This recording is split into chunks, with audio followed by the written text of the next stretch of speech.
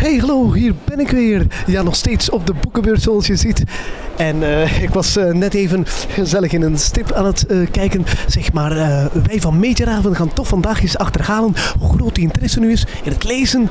En misschien wel het bekijken van strips bij jongeren en kinderen.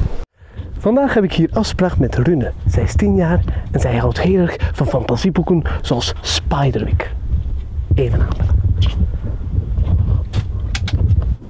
Hey, dag Rune. Is. Hier ben ik dan om eens eh, met jou te hebben over je favoriete leesboek. Mag ik binnenkomen? Ja. Dankjewel. Hoe, hoe vaak lees je zo'n boek? Voor het slapen gaan. Voor het slapen gaan. Dat is wel het leukste zo, hè? En Ja. eh, komt de mama dan soms niet? Nu is het wel tijd om te gaan slapen. Soms, maar af en toe, ja. Zeg Jill, in welke strip ben jij hier aan het bladeren? Een strip over vampieren. Een strip over vampieren. Zeg, hou je dan heel erg van vampieren en fantasieverhalen? en- Ja. Ja. Zeg, en, ehm, lees jij ook graag leesboeken? Ja. Ja. En eh, wat lees je nu het liefst? Leesboeken of toch meer de strips? Strips. Ik eh, lees graag de boeken van Geronimo Stelton. Zeg, dat zijn toch veel tekeningen? Kijk je dan meer naar de prenten of lees je ook graag? Ik kijk veel naar de prenten, maar ik lees heel het boek ook uit. Zeg, wat vind jij eigenlijk zo leuk aan strips? Dat, ik, mm, dat de fantasiestrips leuk zijn en dan kan ik ze ook de dingen uit daarin wat natekenen. Natekenen. Dus jij tekent ook graag. Ja, Dus jij tekent echt de, de strips na. ja, En de verhalen. ook een beetje. Zeg, eh, ik zie daar ook zo als ik eens piep een prachtig boek liggen. Welk boek is het? Spiderwick. Is dat jouw favoriete boek? Ja. Oh, zeg, en eh, volgens mij is het een eh, fantasieboek, eh, een avonturenboek. Ja. Waarover gaat het? Over een tweelingbroer en een grote zus. ehm, dat, die verhuizen naar een, het huis van een oud-oud-oom.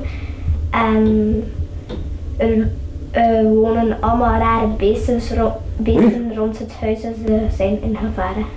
Dus hou je heel erg van avontuur? Ja. Want dat is toch ook iets, heel wat eh, meestal de, de, de jongens, hè? maar je bent dus een avontuurlijke stoer meisje. ja.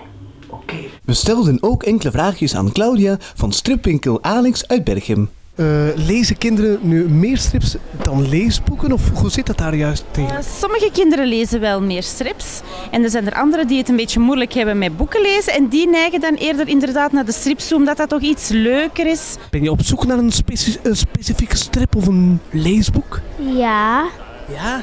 Naar wat ben je precies dan op zoek? en naar een boek over het leven van het loser. Over het leven van wat? Een loser. Wat vind je zo leuk aan de bibliotheek? Kom je er vaak? Ja, Ja? elke woensdag. Elke woensdag. Ja, soms niet.